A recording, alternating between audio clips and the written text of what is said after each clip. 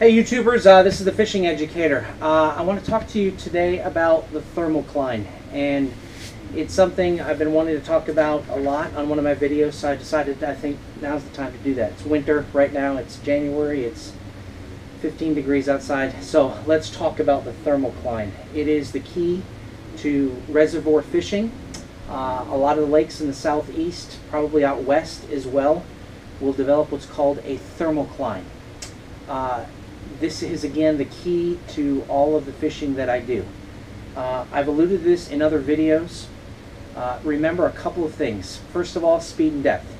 Everything I'm fishing on and for, when I go out and I fish, I'm catching bass, largemouth bass, smallmouth bass, walleye, catfish, uh, crappie, perch. Uh, I'm catching fish 50 feet down in 200 feet of water. And so as you're out fishing, it's important to remember your speed and your depth. There are certain places on a lake. You may find a lake that's huge and you're like, where do I start? Start fishing. Uh, mark your spots. There are spots on a lake that hold fish in the middle of the lake and there are other spots that don't hold fish. And I know that may sound really uh, basic, but if you mark your spots, you will know that there are concentrations of fish on certain parts of the lake as opposed to other others. You just need to get out, and you need to get out and and fish, and you'll find those spots. Uh, thermocline sets up, it's all about oxygen level in the water. And so what you have is you have turnover, uh, turnovers in lakes that happen. When uh, a lake turns over, uh, oxygen will either come to the top or it'll fall to the bottom. Let's talk about uh, springtime. And so springtime, you will have high levels of oxygen uh, kind of kind of throughout. Um, and so you can fish as deep as 70 feet uh, in the wintertime. As the water warms, uh, you will find a thermocline that sets up. And on your electronics, if you put your frequency up really high and you put your sensitivity up really high, you can actually see that thermocline. And what it is, is it's an area of water that actually uh, dictates where the fish can survive. Fish below the thermocline cannot survive. There's not enough oxygen that's there. Uh, Georgia Department of Natural Resources puts out a couple of uh, websites that they have that they're actually monitoring the oxygen levels and parts per million. And so as I'm going out and I'm fishing, I'm looking for that thermocline and make sure I'm not fishing anything deeper than that. Uh, I'll tell you, uh, early spring, I can catch walleye in anywhere from the surface down to about 25 feet of water. They're very comfortable there. The temperature of the water is good. Oxygen level is good. As that summer builds and the water temperature builds, you will find a thermocline sets up. Uh, typ typically around here, thermoclines anywhere from, uh, say, around 25 to 30 to 50 feet deep. And so uh, I'm generally never fishing deeper than, than 50 feet. Um, first of all, I'm not marking fish there, so why would I want to be fishing below where I'm marking fish? But as that thermocline sets up, generally in the middle of summer, uh, you can fish anywhere from 25 to 35, 40 feet deep. You keep all your lures in that zone. Uh, I will usually have my outside planer boards that will be a little shallower. They might be in that 15 to 20 uh, foot range. Uh, but if I'm not getting any hits, I will reel those in and I will set up something a little bit deeper. Um, so I might send a, a crankbait that goes down 25 feet and, and make sure that, that I'm hitting those target levels. So uh, I'm going to show you just real quickly, uh, just a, a, picture of what that looks like.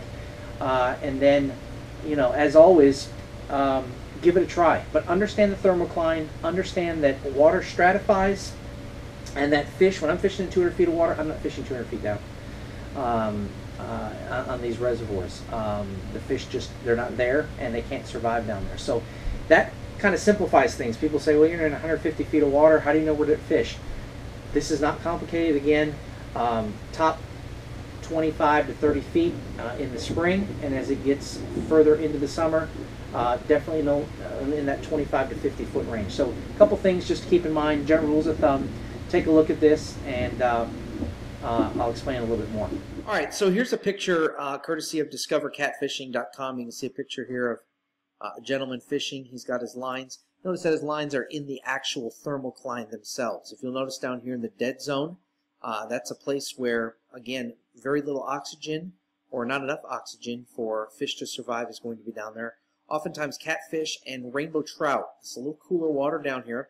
This is a typical summer setup, so I oftentimes will be fishing right below the thermocline. That will hold some fish. Again, it's based on where I'm marking fish. You'll notice in the thermocline is where most of the fish are, and that's where I'm fishing uh, in a typical um, summer months. This is uh, June, July, and August. This might be the 25 foot mark here. This would be the 50 foot mark. So all my lures are set at that particular level. Um, bait fish. You know, the key is why am I fishing open water? Well, the bait fish are out in open water, and you will mark schools after school after school after school. You will mark lots of fish. When you mark fish, mark those spots. Those are places that you need to hit as you're trolling. Uh, and then, of course, the top water here, this is going to be the warmer water. It does stratify. And so, you know, in this, in this wintertime, um, you could fish really top 70 feet. Um, this thermocline actually, as the winter goes on, it'll actually drop a little bit. And so you could fish a little deeper in the wintertime, but I generally am not fishing in the wintertime too much. So uh, there's one picture, and then of course the other picture looks like this, and this is taken from a uh, just a, a, snapshot from a fish locator. You'll see the water temperature is 84 degrees. You'll see you know school of bait here, school of bait here. But if you mark up your sensitivity, you will uh, see that this horizontal band is the thermocline. You can actually mark that on some of these high res um, fish locators that are out there, Humminbird, Lowrance, whatever the case may be. So again, you can always find that thermocline uh, by just bringing up your resolution and your sensitivity. So hopefully that helps. Hey, thanks for watching, and uh, be sure to like and subscribe. Again, remember the thermocline uh, as you're out fishing in these deep reservoirs all over the southeast, west, and, uh, and midwest. Happy fishing, and have a good day.